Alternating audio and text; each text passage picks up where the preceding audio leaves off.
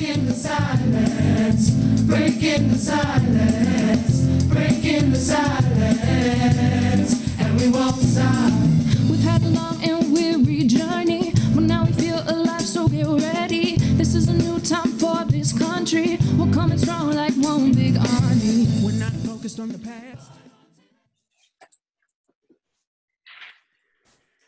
Hello, everyone, and welcome to our fireside chat with Theaster Gates. How are you today? Super good. How you doing, Miss Sally? I am really good, and it is so good to see you. Let me tell you, I've missed you. All right, so uh, before we get this kicked off, I'm just going to tell you guys a little bit about Theaster. Um, he is amazing. He is a visionary artist who creates work that focuses on space and theory and land development. Um, he focuses on sculptural performance. Um, he draws interest in training and urban planning and preservation. The redeems spaces that have been left behind, creating work that focuses on the possibility of life within things. Um, he uh, smartly upturns art values, land values, human values in all aspects of his work. Um, he contends with the notion of Black space as a formal exercise um, defined by collective desire, artistic agency, and the tactics of a pragmatist or an advocate. Um, he has exhibits um, and he's exhibited and performed all across the world, um, including France, Germany, Switzerland, Canada, Italy, the UK, you name it. Um, he's a professor at the Uni- University of Chicago in the Department of Visual Arts. Um, he also serves as the senior advisor. Welcome, welcome. Can you hear me? I hear you. Yes. Okay. Okay. Thank you. That was a lot. It was. Thank you so much. and I actually have a lot more, but I know we are, you know, pressed for time. And um, but you are so awesome. Um, we are so honored to have you. Thank you so much for joining us. Um, oh gosh, I didn't say a little bit about myself. So my name is Allie Bradford. Hi, you guys. It's really weird kind of not seeing you guys, but I know you are there and I feel you virtually. Um, I am an alumni of the Chicago Children's Choir and um, an avid um, ambassador for the organization that is near and dear to my heart. And it is absolutely how I met Theaster. So how does your art specifically connect land or spaces and humans and through those entities how do they interact or overlap Yeah. So in some ways, it, it's simple. It's like um, uh, when I started making art, I was also interested in abandoned buildings and the block that I lived on. You know, in 2006, it was a thriving block. By 2008, there was a lot of abandonment because um, the housing market had crashed. And so what I did was I just um, acquired the building next door to the building that I lived in. And I think that my uh, practice of space came because I would buy a building. When I would buy it, I would gut it, renovate it. The guts I would use to like make some art sometimes. And I would sell that art. And then the money that I made in the art world, I would bring that money back to the South Side and restore another building. And so it became this kind of cycle where, um, because of my personal love of space and like design and decor and installation art, I just wanted to, see a little bit back there. It can see a looks little bit back amazing your space.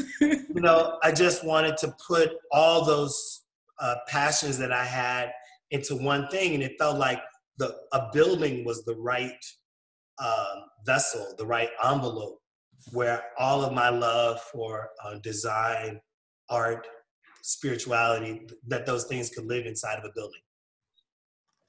that's amazing um all right, let's get into this Stony Island Arts Bank. It is on 68th and Stony Island. If you guys have never seen it or ever been, I highly encourage you to check it out. Um, it's a beautiful space. One of our alumni, ironically, um, Jamila Woods, she actually filmed one of her music videos there, Giovanni. It was done beautifully. Um, I was a- actually able to sing with her in that video at that space, and that was amazing. Um, tell us a little bit about the Stony, Stony Island Arts Bank, how it came to be, um, what you uh, what you were trying to accomplish when you kind of um, spruced up that space and you know um, kind of rebirthed it. Yeah. Tell us a little bit about the history of that. So again, you know, being being on Stony Island, if you were walking down the street in 2008, you would go past this abandoned bank, and it was the biggest building uh, on Stony Island, and you could tell that maybe at one point there were lots of buildings like the Arts Bank, but over time they had just kind of torn them all down. So mm-hmm. it was like the last dinosaur, you know. Mm-hmm. And I just thought if somebody could renovate this and kind of restore it to something beautiful, it would probably help people imagine that other things are possible. So I always talk about it like as a when you demonstrate a miracle, part of the beauty of demonstrating a miracle is that other people start to believe that miracles can happen. You know, so it, it starts to create more miracles. You know, so um, around 2010, I asked the city if I could take a stab at renovating the building. They said yes. They gave me the building for almost no money. You know, they say for a dollar. Mhm. But it, it was probably uh, about a $6 million project that we did over two or three years, Mhm. raising money however we could, getting loans. And, and the goal of the building was first just to be renovated. Just like we're going to demonstrate that we can have beautiful architecture in the hood, right? Yes. And, you know, and that was like, if, if we had just done that, that would have been enough. But then we thought maybe this could be kind of a cultural hub. And like a bank, it could be the repository for our cultural treasures, our wealth. And that from that wealth, we could then, you know, give it back out. You know what I mean? And so it, it has become kind of a, a hub for creativity.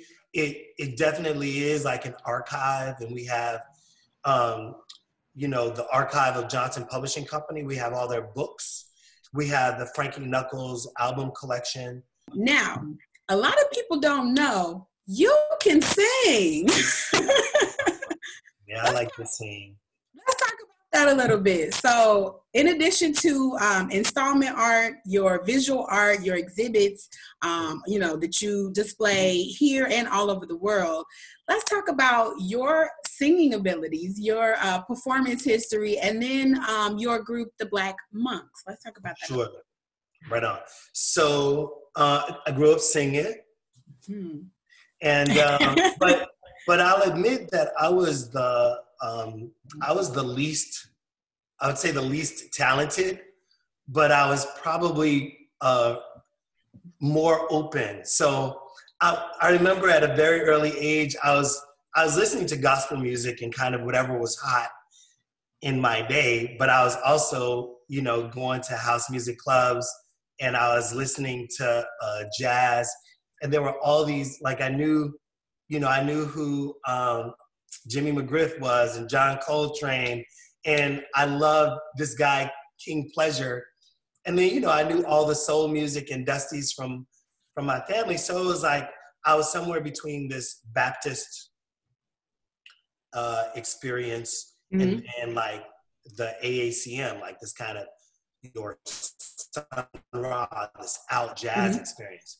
And I think that in some ways, the Black Monks, my band now, is this hybrid of, you know, kind of Baptist roots or like COGIC roots, Mhm. and then um, this kind of performative uh, jazz ensemble. And, you know, I'm probably singing, I don't know, a lot.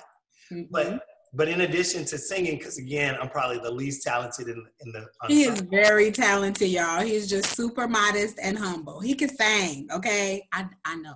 But in, in addition to the singing, it's kind of my job to like add the weirdness, you know. And, and so um, I'm thinking a lot about, you know, our stage presence and um, what kinds of music that we're listening to together and lots of research around like new ways that we can perform.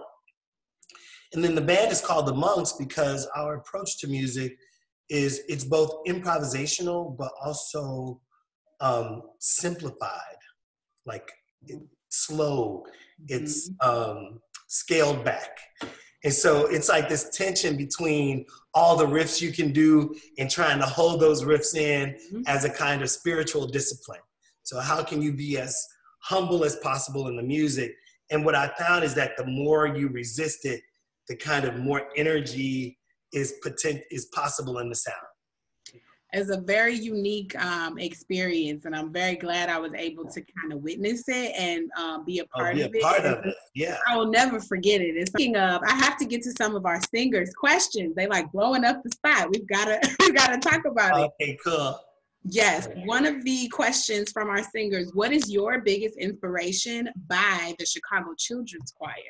That's Oh yeah, thank you so much. So singers, I should say uh, to you all that um, the choir was also at the Arts Bank, and we did some improvised stuff, and um, I think the choir did Ave Maria, which was so beautiful. And so part of what I love is um, uh, the choir's commitment to uh, is commitment to discipline, right? And that through the discipline, the creativity kind of opens up. So it's like first, first you get it on page, then you get it in your body, then you have it in your heart. You know what I mean? And so I think that it, uh, when you guys were with me, where were we? We were in We were in Munich, Germany. we were in Munich. When we were in Germany we together, in New York. You know what I'm saying? Mhm. in both places, there was this knowledge of the classical form. Mhm. And then when I asked you guys to freak it, Mm. there was there was all of this additional creativity on top of that. And so I love that there's both. We're all excited. Thank you so much for taking time to. I love you guys so much, Alan. I'm so proud of you. Thank you. I love you. Um, looking forward to uh, connecting and working together again. Let's do it. Um, thank you so much. I really, really appreciate it. Y'all take care. Thanks. Bye bye. Thank you.